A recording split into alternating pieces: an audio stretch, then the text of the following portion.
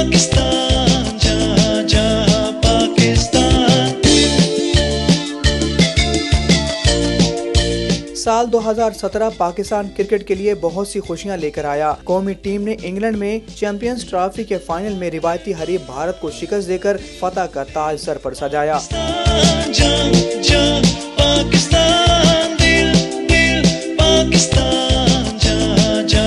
دوسری جانب Pakistan super league کا دوسرا ایڈیشن کامیابی سے متحدہ عرب امارات میں منعقد ہوا۔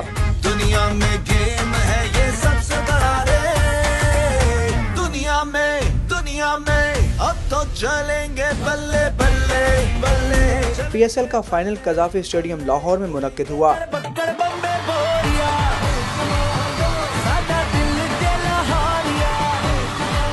میگا ایونٹ میں خالد لطیف، شرجیل خان سمیت دیگر کھلاڑیوں کو پابندی کا سامنا کرنا پڑا۔ صرف یہی نہیں ورلڈ الیون کی ٹیم بھی پاکستان آئی اور قومی ٹیم کے ساتھ تین ٹی ٹوینٹی میچز کی سیریز کھیلی، جس سے سنسان پڑے کرکٹ کے میدان پھر سے آباد ہو گئے۔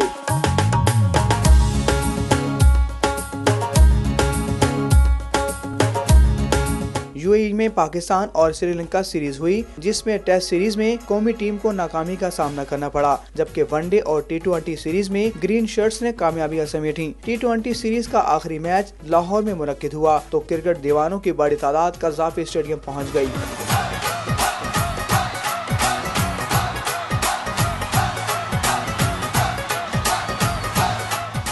سال دو ہزار سترہ میں قومی ٹیم کے مایناز بلے باز اور کپتان مصباح الحق سمیت یونس خان، بوم بوم آفریدی اور سعید اجمل جیسے عظیم کھلاڑیوں نے کرکٹ کو الوداع کہا۔ ان ہیروز کی کمی شائقین کرکٹ تادیر محسوس کریں گے۔